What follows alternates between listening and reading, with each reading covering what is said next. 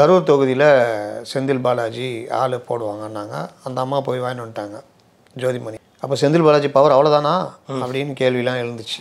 நம்ம ஏற்கனவே ஒரு விஷயம் நான் ஒரு ரெண்டு மாதம் முன்னாடியே பதிவு பண்ணேன்.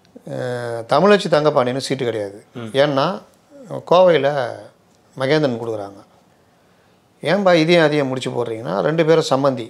ஒன்று உங்கள் குடும்பத்தில் அவர் கொடுப்போம். அவங்களுக்கு கிடையாது.